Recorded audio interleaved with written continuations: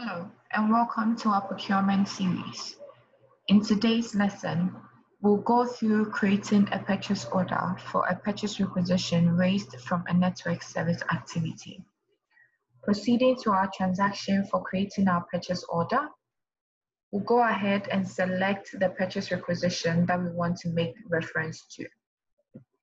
But we'll first maintain our organizational unit information. So our purchase organization with our preferred entry, then proceed to search for our purchase requisition.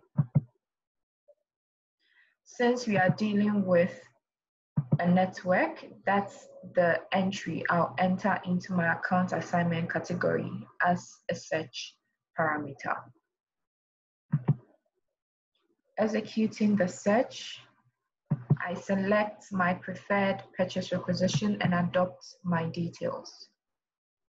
So you can see from here on my screen that the information has been adopted from the purchase requisition that was created from our network.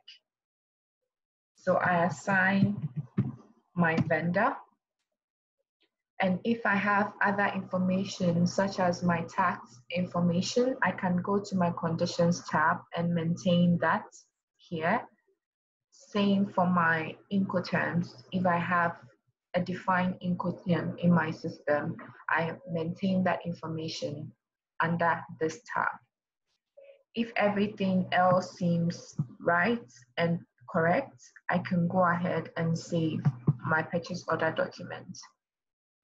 The purchase order number generated can then be used to create a service entry sheet upon completion of the activity by the vendor. This will be handled in our next lesson. Don't forget to subscribe and stay tuned as we complete our procurement series. Thank you.